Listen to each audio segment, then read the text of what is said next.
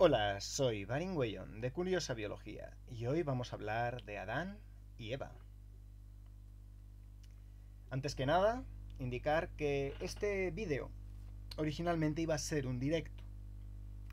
El problema es que, eh, como podéis observar, no estoy en, eh, mi casa habitual, estoy en casa de mis padres. La conexión a internet aquí es muy deficiente y no podemos, no, he intentado realizar un directo y no ha sido posible. Eh, la conexión se entrecortaba, no había vídeo, eh, el audio era completamente incomprensible. De modo que he tenido que hacer este, este vídeo eh, a prisas y sin ningún tipo de montaje. El resto de vídeos, mientras esté aquí, eh, van a ser de la misma naturaleza. No voy a poder hacer directos mientras esté eh, de vacaciones. Entonces todos los vídeos van a ser de este estilo. Tendréis que perdonarme. Pero intento cumplir con el reto de Abril Videos 1000.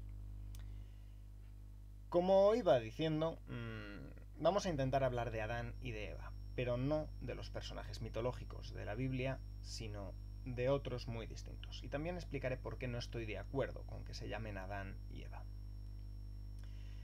En el año 2009 hubo un descubrimiento que supuso algo importante en la historia evolutiva del ser humano.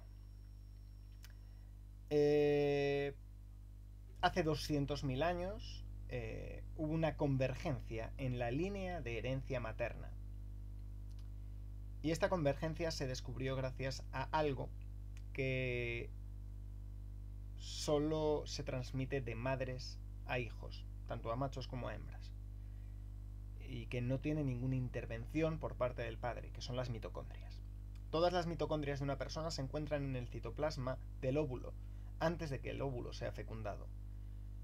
El espermatozoide no aporta ninguna carga de, de mitocondrias al óvulo, por lo tanto todas las mitocondrias de una persona proceden de la madre. Como todas las mitocondrias proceden de la madre, podemos trazar una línea hacia atrás, eh, una especie de árbol genealógico mitocondrial, eh, teniendo en cuenta todas las madres, de los hijos a las madres hacia atrás. ¿Hasta dónde llega ese, ese árbol genealógico? Pues llega hasta una mujer que vivió hace unos 200.000 años, como he dicho, y a la que hemos llamado Eva mitocondrial. De esa mujer descienden el 100% de las mitocondrias de la especie humana, todos los humanos modernos. En el año 2011 también se descubrió el mismo linaje por la vía paterna, lo que sería el ADN, o sea, el Adán cromosómico Y. Es el Adán cromosómico Y porque igual que las mitocondrias se heredan solo por vía materna, el cromosoma Y solo se hereda por vía paterna las mujeres tienen doble cromosoma X y los hombres tenemos cromosomas XY. Por lo tanto, cuando alguien hereda un cromosoma Y, forzosamente tiene que venir del padre. Entonces, eh, la primera pregunta.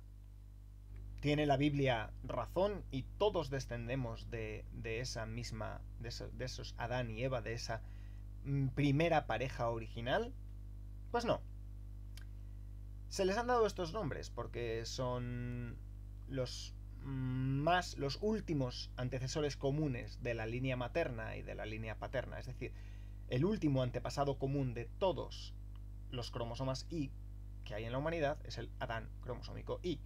Y la última antepasada común de todas las mitocondrias que hay ahora mismo en la, humanidad es esa Eva, esa Eva mitocondrial. Pero no son ni una pareja eh, original ni... De hecho, ni siquiera vivieron a la vez.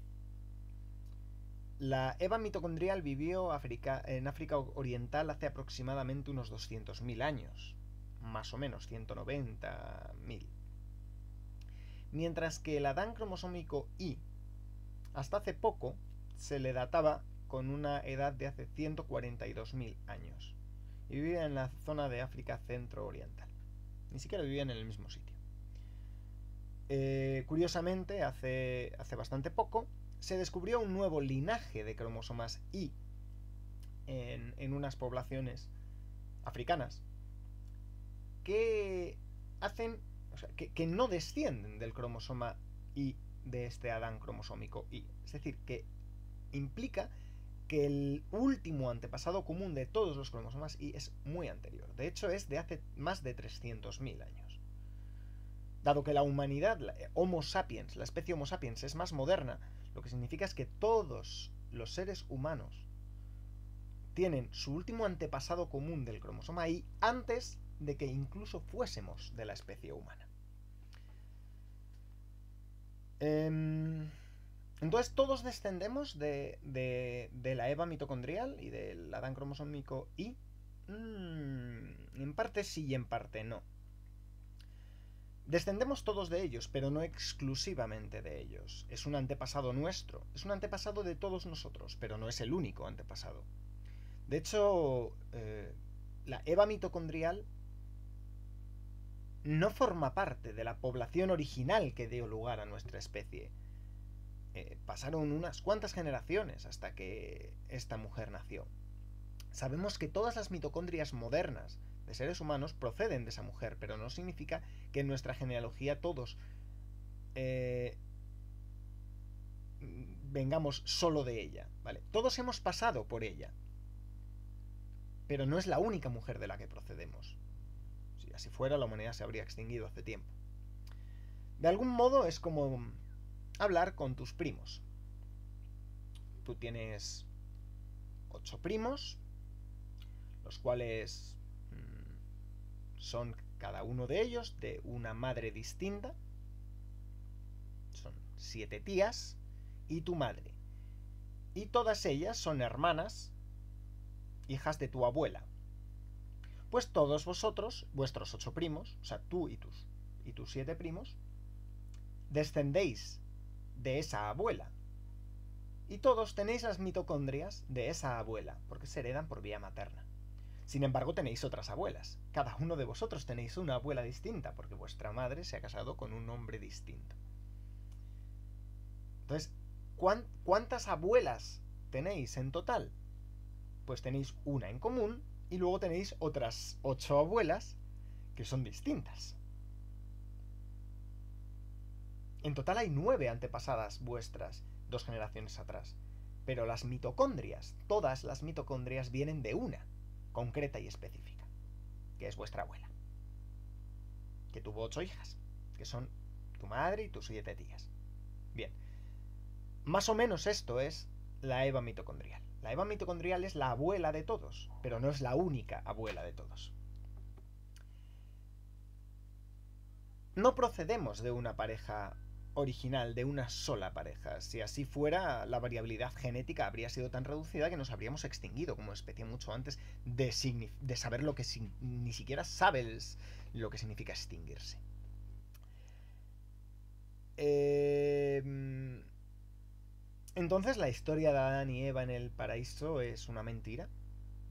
Pues sí. Sí, no existieron ni Adán ni Eva del mito bíblico, ni tampoco existió algo así como un paraíso. Lo siento mucho, creacionistas. Ahí no tenéis razón. Bueno, ahí en casi nada. Mm.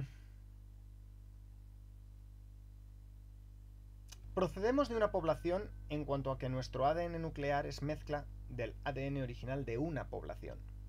Nuestras mitocondrias indican que todos hemos pasado por una mujer. Nuestro linaje femenino viene de una mujer y nuestro linaje femenino viene de un hombre. Pero no somos los únicos, o sea, no somos, ellos no son los únicos antepasados nuestros. Simplemente esos linajes han confluido en esa mujer y en ese hombre. Pero eso es todo. Mm, creo que más o menos he conseguido explicar un poco quiénes son el Adán cromosómico Y y la Eva mitocondrial. ¿Por qué digo que no me gusta el nombre de Adán y Eva? Porque tienen unas connotaciones claramente religiosas. Tiene unas connotaciones claramente religiosas y además mm, su significado real, el significado del Adán y Eva eh, mitocondrial y, y cromosómico Y, eh, no se corresponde con los significados míticos del Adán y Eva bíblicos. Son personas distintas. Eh, no son una pareja original, no son los únicos antepasados de toda la humanidad, ni siquiera vivieron en el mismo momento ni en el mismo lugar. Genera mucha confusión eh, que, esos, que esos dos personajes reciban los nombres de Adán y Eva. Eh, hay muchísimos malos entendidos respecto al Adán cromosómico Y y a la Eva mitocondrial a causa de los nombres. Eh, y han sido utilizados por parte de creacionistas durante muchísimo tiempo y con muchísimos distintos motivos, haciendo cherry picking, eh, para decir que eh, el hecho de que haya un Adán cromosómico Y y una Eva mitocondrial, y sin saber ellos, o sin querer entender lo que significan estos dos conceptos, aprovecharse y decir que eso significa que la ciencia demuestra que Adán y Eva existieron, refiriéndose ellos a la Adán y Eva de la Biblia. Por todo ello, yo estoy completamente en contra de, que reciban los nombres de Adán cromosómico Y y Eva mitocondrial. En mi opinión, eh, los nombres ideales serían cualesquiera otros. Podrías llamarlo, no sé, Paco y Lucía, por ejemplo. Paco cromosómico Y y Lucía mitocondrial. Lucía no, que queda como Lucy y, es una... Mm, ahí estamos mezclando. Em, no sé. Silvia. La Silvia mitocondrial. ¿Por qué no? Así que... Mm, desde aquí yo quiero dejar también ese, ese punto, ¿no? No me gusta que se llamen Adán y Eva. Porque llevan a confusión por parte de los que no comprenden lo que significa y a manipulación y a cherry picking y a falsa sensación de, que los creacionistas tengan algo de razón cuando no lo tienen a causa de esos, nombres utilizados. Y eso es todo. Eh, para concluir, como siempre, Muchas gracias al señor de Incógnito, a Clara Díez Valls, a Raquel García Delgado, a Kaeldras y a Drey por su colaboración, por su apoyo y por su predisposición a mejorar la divulgación científica y el pensamiento crítico. Hasta la próxima.